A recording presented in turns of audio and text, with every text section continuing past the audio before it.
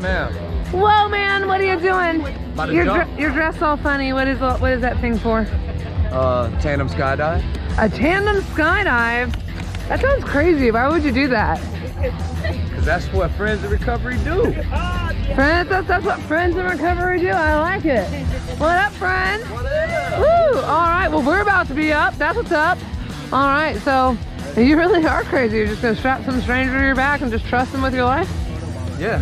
Cool. You only live once. Yeah. Live it to the fullest. Yeah. I think you only do the other thing once too. But we're gonna have a lot of fun, man. we're gonna live life to the fullest. I don't know. Maybe you do it twice. I don't know. I'm Well- pretty sure. Yeah. All It'll right. happen again. Maybe So, are you? How are you feeling? Excited? Nervous? I'm ready. Yeah. I mean, I'm all of the above? Not nervous at all.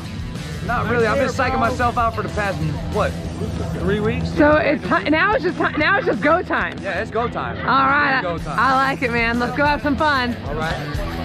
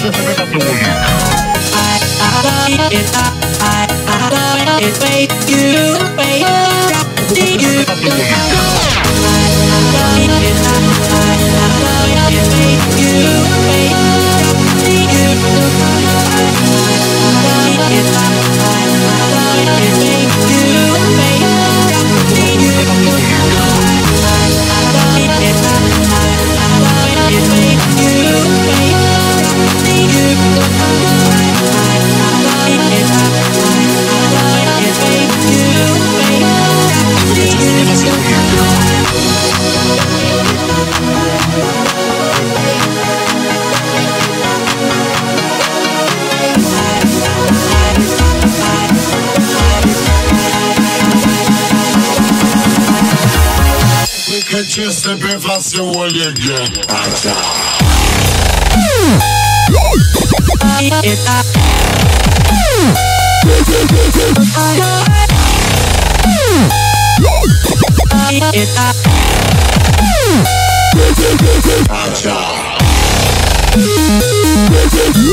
Acha.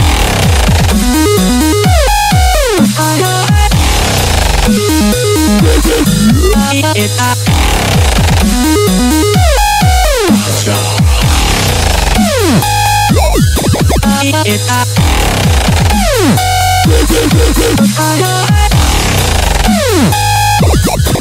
疲れた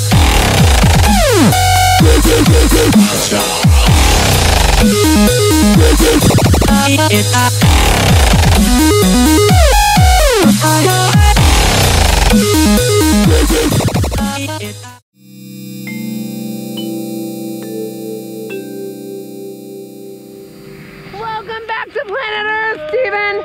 Whoa. What did you think of that? That was that was experience of a lifetime. Oh, a lifetime. Do you think you would ever try it again though? What? Absolutely. Well, then it can be the experience again and again of a lifetime. How's that sound? Most definitely. Most definitely. What was your favorite part, man? Going out the door. Yeah? Yeah. Exiting the aircraft is a pretty cool yeah. part. I agree. Not knowing what to expect. But You know what part I like? When you guys land on the earth safely. You know why? Absolutely. Because that means you can do it again. Right. So thank you for coming out, and we'll see you next time. Good one. Thanks for coming to Skydive City.